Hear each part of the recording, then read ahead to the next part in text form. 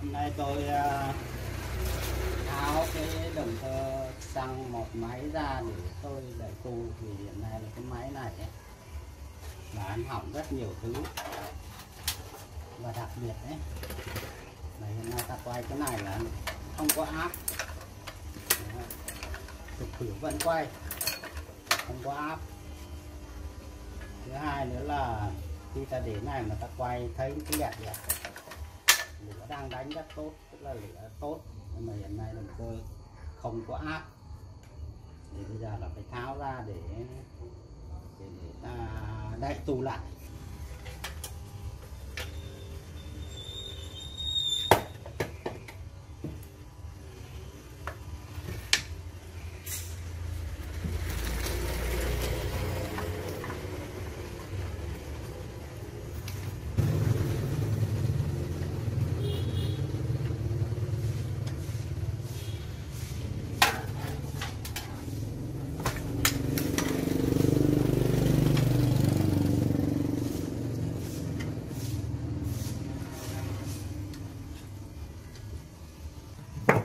Chú ý tôi nhìn tôi cứ tự tháo.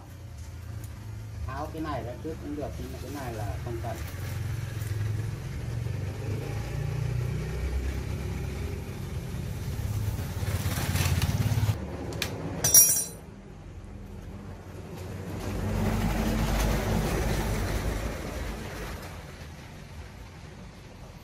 Đây là cái bộ phận khởi động. Cái máy này là rất bẩn bớt cánh đàn ra Đò hoặc là xăng ra ở cái ca ca xăng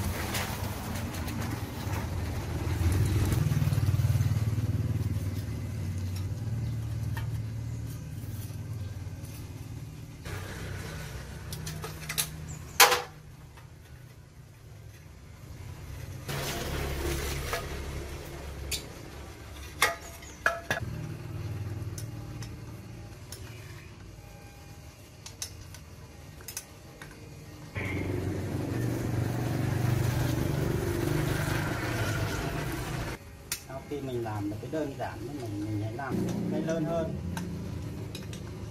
Sau khi làm được những cái một máy thì tiến hành làm những cái nhiều máy. Thì thực tế cái một máy và cái nhiều máy nó gần giống nhau chỉ khác nhau một số các cái vấn đề khác thôi. Chứ còn nội dung mỗi một máy là đều giống nhau cả. Chứ đừng có nghĩ là cái to là khó có cái bé này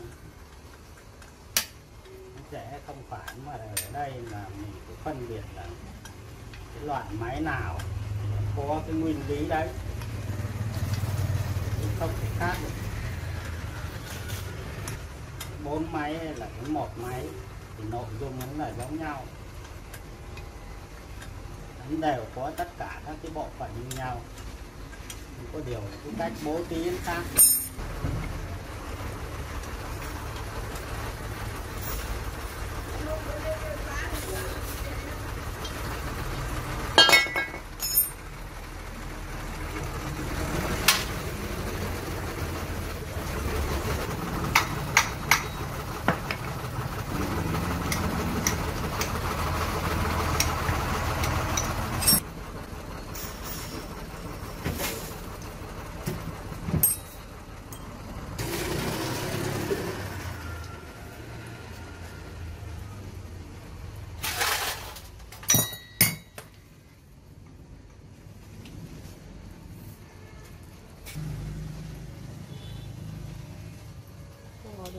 Nữa cái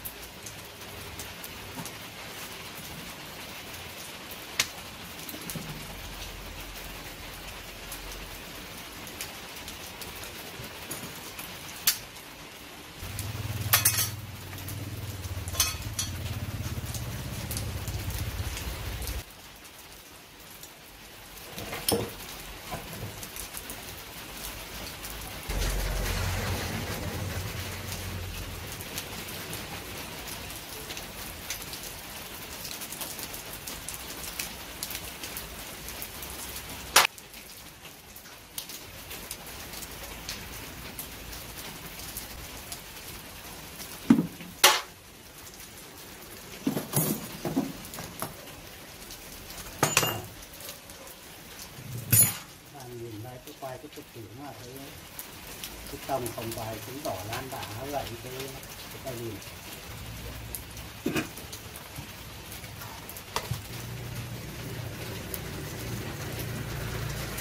màu đen này là đẹp. Đó không sao nhưng mà màu, màu nhớt mà bạc bạc là rất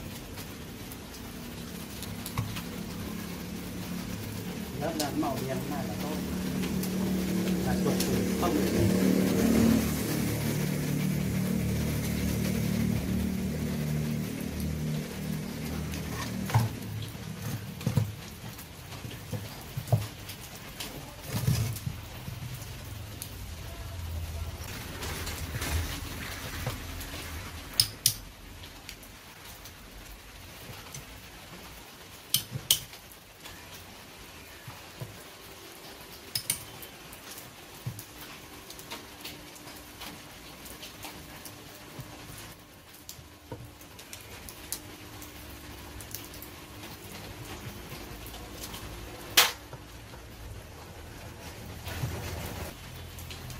Phớt bánh đà này.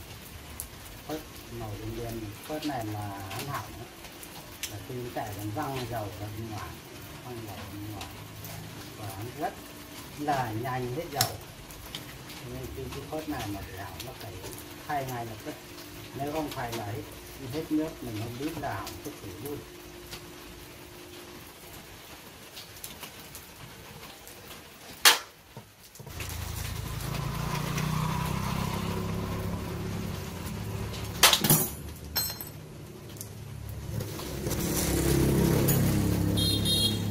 Phần bên này cần ít người ta thay lúc nào mà gặp đến cần phải thay thì người ta tháo bên này hoặc là bi bi này mà, mà, lỏng nó ta mới tháo cái này không cần thôi. Chủ yếu là cái mặt bên này.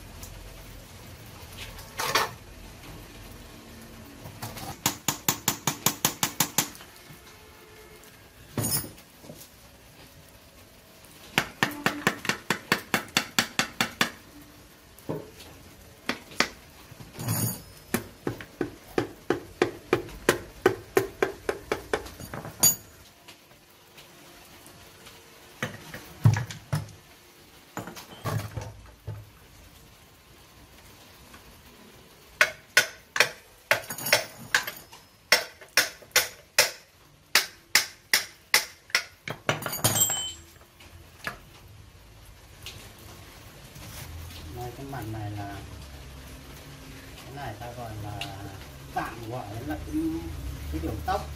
Nhưng mà thực tế nó không phải là cái điều tốc giống như là cái động cơ diesel thì cái này nó chạy nó xòe ra là nó điều chỉnh cái tay gà cái này nhiều khi nó gậy đi là cái tay gà không không hoạt động theo cái mức độ của mình. Đấy, khi chạy xẻ ra. Xẻ lần cái này. よかった。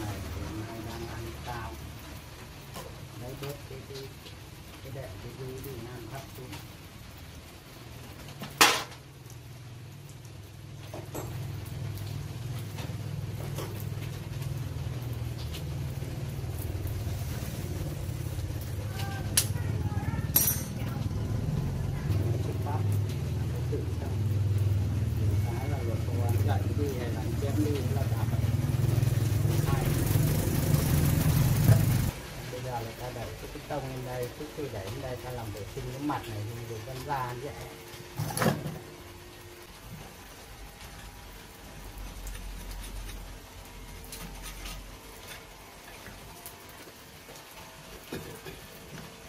vậy có cái tông này chạy không lên hết, cho nên còn có một cái gờ của nó hơn một ly nó ở đây nhưng trước khi tháo ra là ta phải làm vệ sinh mỗi bán quanh đây khua rút cái tổng là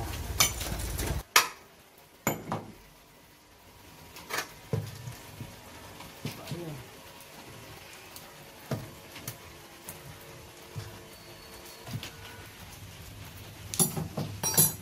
Đây, nhìn nhìn này làm gì vậy? Chỗ này. Cắt năng để có. Cực kỳ.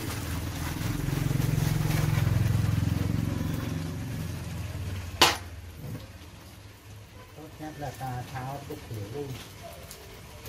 Khi mà cái này như vậy thì có rất nhiều các cái thành phần nằm ở trong này. Cho nên là ta phải tháo hẳn cái thử ra để làm vệ sinh.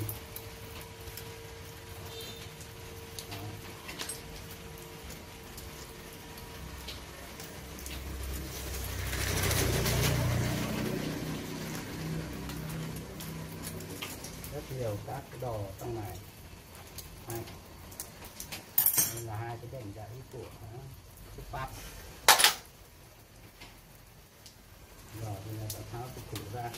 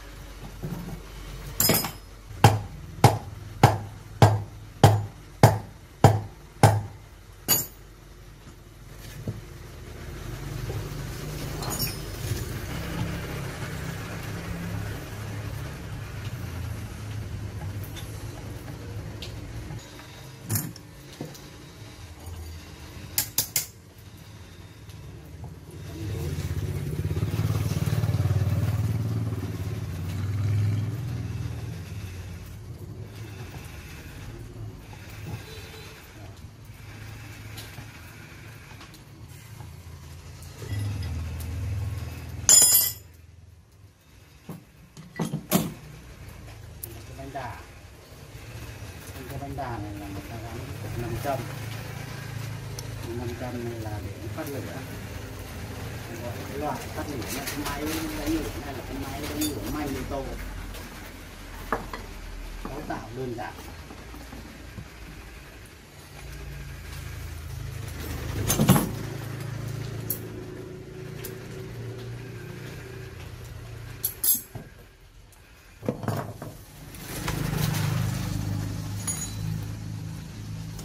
trục thử hiện nay là không bị gì còn ăn tốt Còn các bạn chú ý đây là cái bộ phận cái này nhìn nó có vẻ phức tạp như thế này nhưng thực ra thì cái tác dụng nó rất là ít.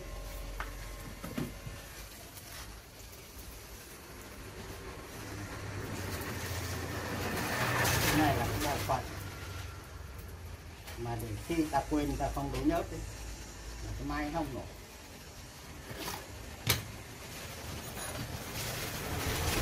Bộ phận này là khi là khi mới mua máy về mà ta chưa đối nhớt ta nổ máy nó không nổ.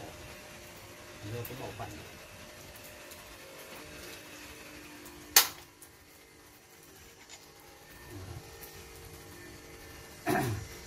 Cái bộ phận này ấy, nhiều khi nó hư hỏng ở trong này nó là cái cái tổ tiếp đây nó đi vỡ ra là nó chạm mát ở trong này. Nó chạm mát ở trong này là nó cũng không nổi. Nhiều khi là máy vẫn bình thường nhưng mà không nổi được. Là do cái cái bộ phận này dính vào đây. Em muốn biết được như thế. Muốn biết được có phải cái bệnh này hay không. Thì trên cái đường cao áp cái đường đánh lửa ấy Đây. cái đường đánh lửa này đấy. Là nó có hai đường một đường chạy vào công tắc còn một đường là chạy xuống đây. Xuống đây. Đấy. thì lắm lúc mà điện ở đây ấy là ta thử không có thì ta tốt nhất là ta lấy cái căng này ra. Ta thử. Điện đây một có công tắc áo. Mà không có điện thì ta tắt cái đoạn đường từ trên đây xuống thế này cái này nó cũng cái này là là, là mới mới lại hắn là cũng bỏ phần tự động khi không đủ lớn là hắn tự động tắt máy để hắn bảo vệ cái cục thủy chứ nếu như mà đại đa số dân ta chạy cứ đến bao giờ máy chết thì mới bắt đầu bây giờ thì mà nó sửa thì là hỏng đặc điểm của động cơ đốt tông nếu như mà thiếu nhớ thì cái cổ trục này là hỏng. Mà cái cổ trục này mà hỏng nó mình phải đi mua cái trục mới. Mình mua cái trục mới thì như, như cái trục này bốn năm trăm nó cái công thợ linh tinh các thứ nó gần cái máy mới cho nên là người ta phải bố trí cái này. Đấy. Bộ tuy là công cảnh như thế nhưng mà thực tế là, là bảo vệ động cơ khi máy hết nước.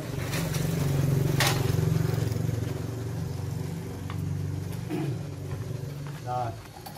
Bên trong này là cái tay ga này. Đây cái tay ga như thế này tôi nói với các bạn. Cấu trúc như thế này.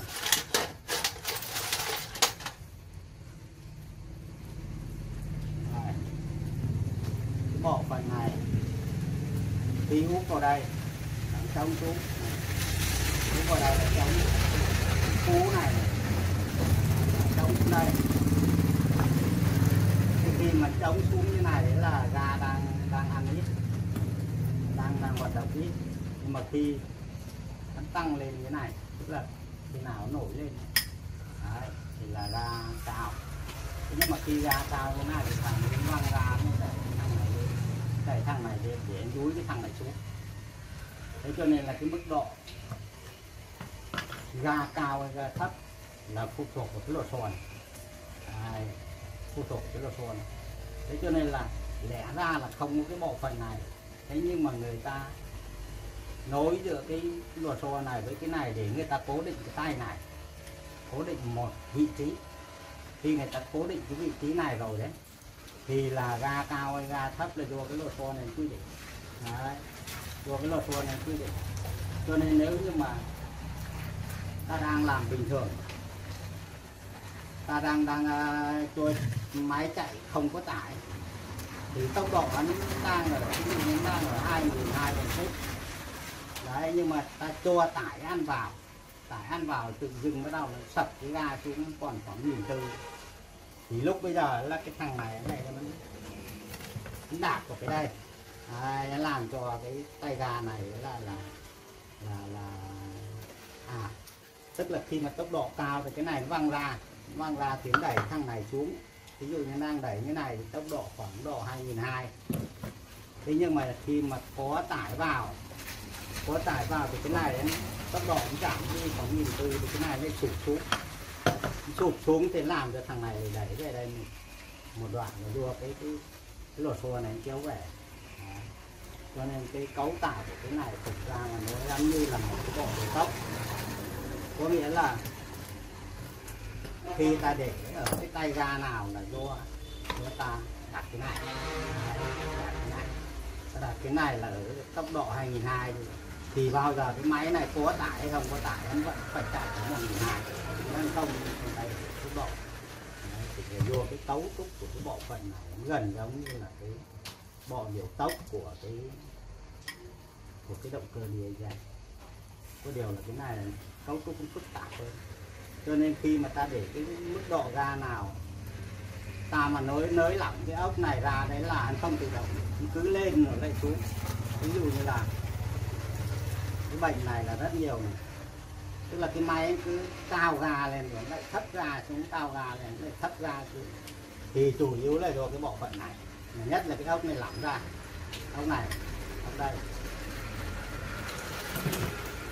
Cái ốc này mà nó lỏng ra, thì nó cứ lên gà cái lại xuống, lên gà cái lại xuống. Ta phải điều chỉnh cái con ốc này làm sao ấy. Ví dụ như là đây ta nới ra là nó lỏng, đúng không? Nhưng mà bây giờ ta phải làm nào ấy? Cho nó chặt nhưng mà đừng chặt quá nó chặt nhưng mà ta phải chỉnh được đấy, chỉnh như thế này. Như đây, cái này là những người mà vẫn hành máy là phải giúp được cái này. Chứ không, từ những cái con ốc này nó lỏng ra như này, cái là cái máy là cứ cao gà này, cái lại thấp gà cứ cao gà này, cái lại thấp gà thì lúc bây giờ tài chỉ cần chỉnh cái này lại. Đấy. nhưng mà đừng có chỉnh chỉnh chắc đây là không được thì chắc là ta không chỉnh được mức độ ra. Mà ta phải cho làm nào ấy. Là để ta có thể xây dịch được. Mà xây dịch khi cái lò xo này kéo nó không kéo được thắng ra được. Đấy. Cấu tạo ở bên trong là cơ bản nhất là là là cái bộ phận tay ga này làm sao cho nhảy là tốt nhất. Chứ còn nó hư hỏng những cái phần này. Các cái phần bên trong này hư, cái phần nào thì là máy là đều không hoạt động còn đây là xi lanh. Cái xi lanh này là khi ta nhìn vào ấy, là thật phải bóng không được xước. Nếu xước là không được. Còn mà nếu mà ta mà nghi cái cái hơi này kém thì ta lấy cái xăng măng mới tinh ấy. Ta lấy cái xăng măng mới, ta đưa vào trong này cho cái miệng, xăng măng nó hở ra còn nếu mà quá hở ra khoảng độ nửa ly thì ta nên ta thay ly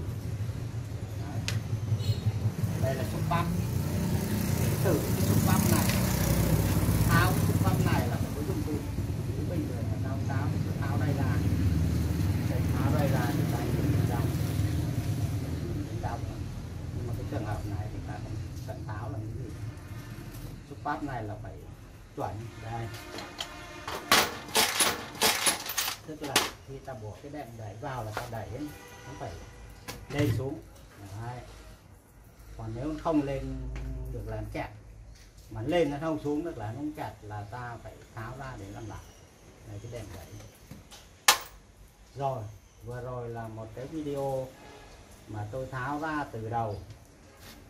Để ta kiểm tra đây là cái máy này bị cái bệnh gì, tức là quay mà không thấy có hiện tượng nghiến hơi.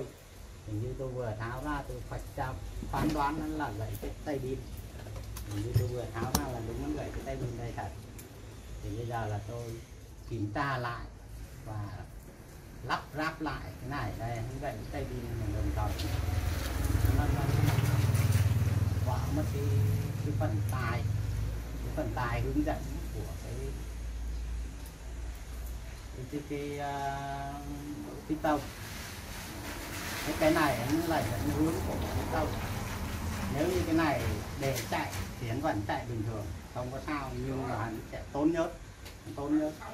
Vì là hắn mất mất cái cái cái dẫn hướng này rồi là khi làm việc đấy là cái quả piston này là sẽ bị lúc lắc lúc lắc làm cho ăn nhớt. Tức là bây giờ hắn bị vỡ đi như thế này thì tay xô hắn chạy, vẫn chạy bình thường. Nhưng có điều là hắn sẽ hao nhớt hơn vì là khi chạy đã mất cái độ dẫn hướng chuẩn đấy rồi thì cái vấu này là cái vấu dẫn hướng làm được cái bề dày nó dài ra. Đấy. bây giờ nó gãy đi, thì tốt nhất đấy là ta nên thay rồi. Trong cái video sau, là sau khi tôi đã làm vệ sinh sạch sẽ, thì tôi lắp lại và cho máy nổ để các bạn chú ý đón xem ở cái video sau.